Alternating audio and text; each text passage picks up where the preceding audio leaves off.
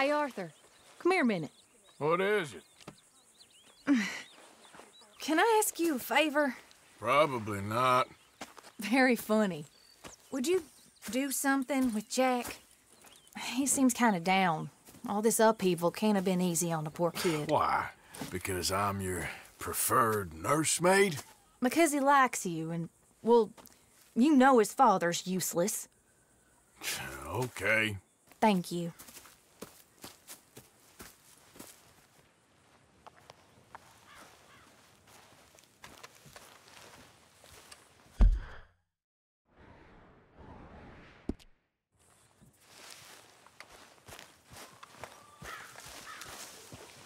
There you are, Uncle.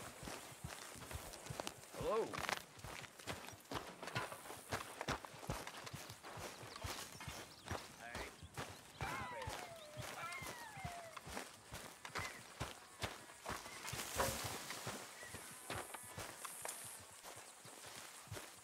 What you up to?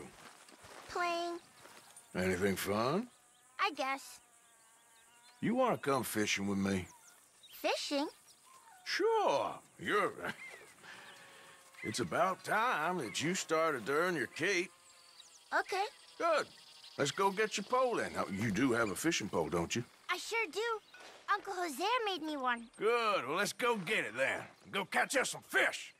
yeah.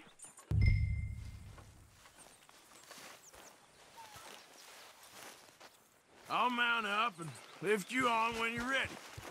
Yep.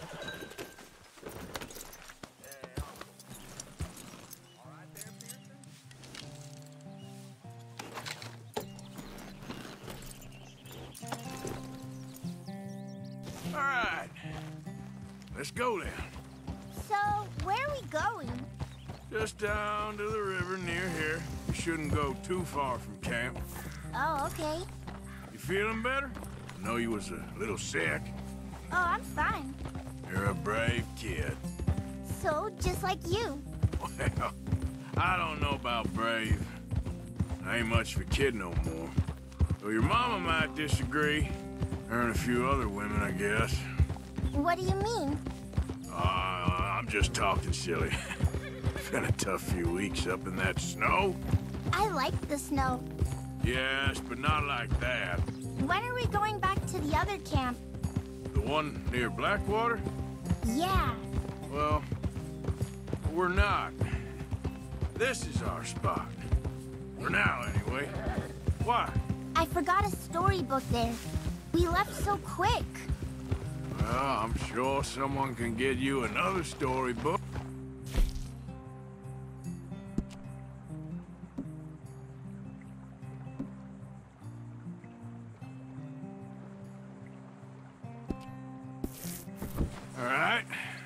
Looks as good a spot as any.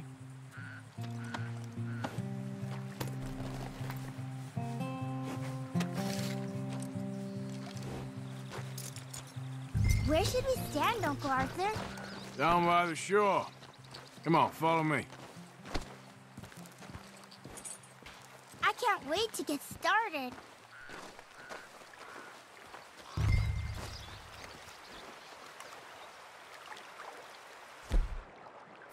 Where's your pole, Uncle Arthur?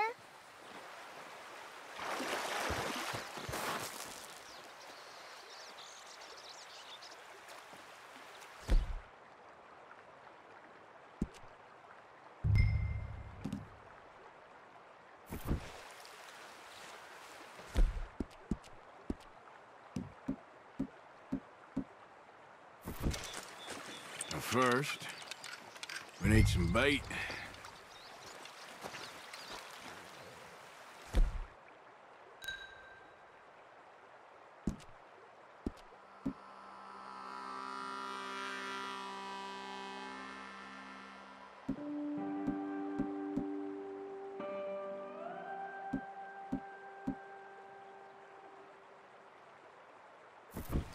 You fishing? I'm gonna use some cheese. Cheese? Smellier the better.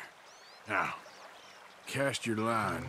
Swing the rod back over your shoulder and bring it forward in a smooth motion. Use your wrist, not your elbow. Like that? That's it. Good. All we do now, Jack, is wait for a fish to take the bait. How do I know when I've got a bite? Well, if you feel the tip of your fishing rod just twitching, don't yank it yet. That just means one's nibbling. If you feel a hard tug, that's a fish going for the bait, so yank hard to hook it. Something's tugging at your rod, Uncle Arthur. There we go. I see. I see.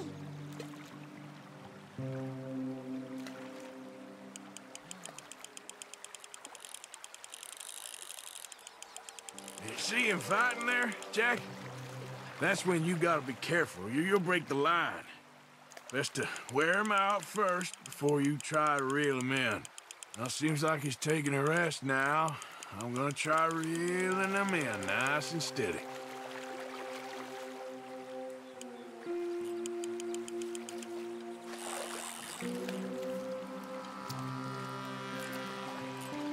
Look, Jack, it's a bluegill. It's almost as small as you. We should really throw these smaller ones back. Give them a chance to grow up a bit.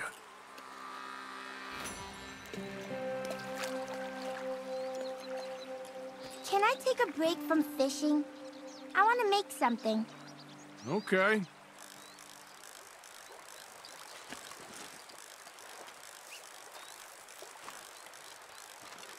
I'm gonna pick some of those red flowers. I'll be right back. I'm gonna try my luck over there.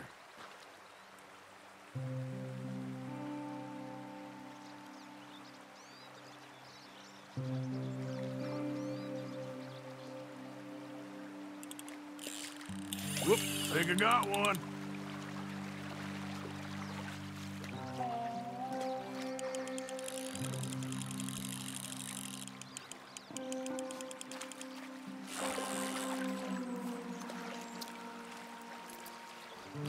Well, this is clearly the spot for bluegill.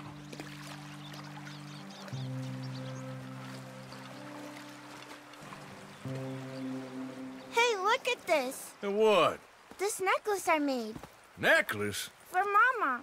Sure. What a fine young man. And in such complex circumstances. Arthur, isn't it? Arthur Morgan? Who are you? Yes, Arthur Morgan. van der Linde's most trusted associate.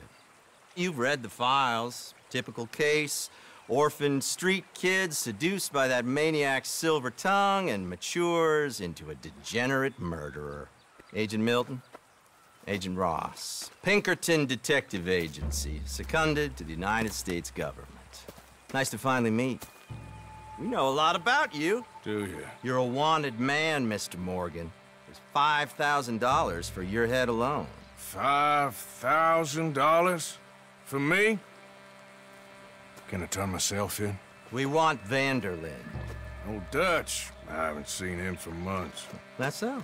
Because I heard a guy fitting his description robbed a train belonging to Leviticus Cornwall up near Granite Pass. Oh, ain't that a little old-fashioned nowadays? Apparently not. Listen. This is my offer, Mr. Morgan.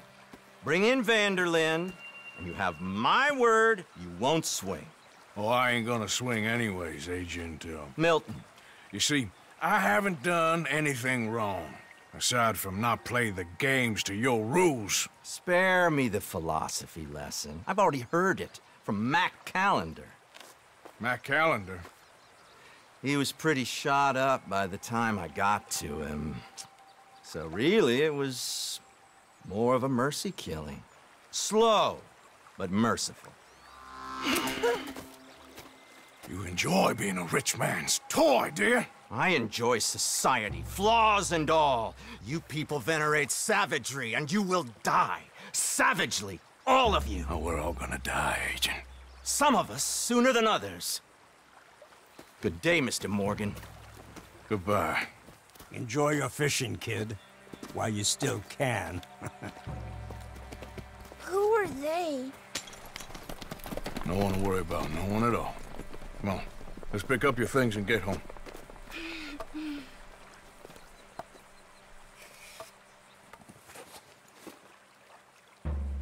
Getting late, Jack. Your mother'll be worried. Let's head back.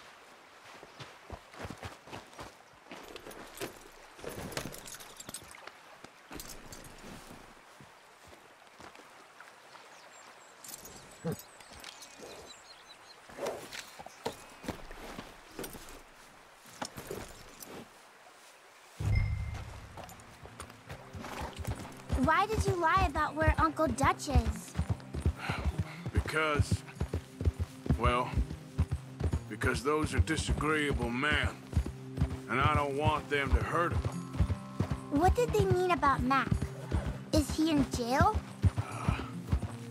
No, I don't uh, think so. I hope he's just fine where he is. Like I said, don't worry about them. The world is full of disagreeable men. That's why you got all of us, to protect you from folk like them. Now, how about that necklace you made? You still got it, right? Yeah, I got it. Good. Did you like fishing? It was okay, I think. It's a lot of waiting around. It is.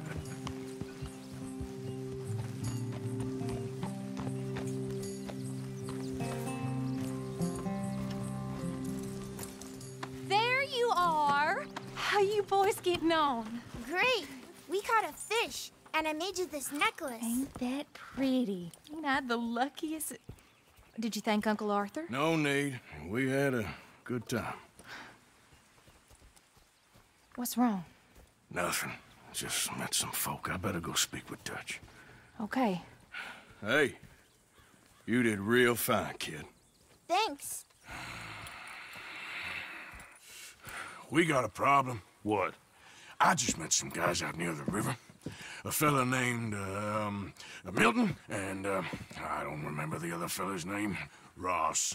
Milton and Ross. And? And they are employees of the Pinkerton Detective Agency. And they know about the train, and they know we're here. Were you followed back here? No, they know we're near here.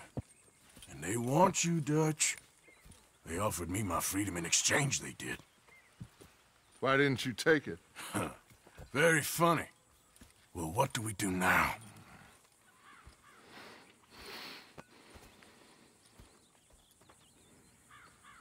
I say we do nothing. Just yet. They're just trying to scare us into doing something stupid.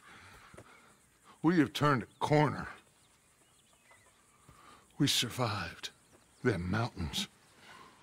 We just need to stay calm.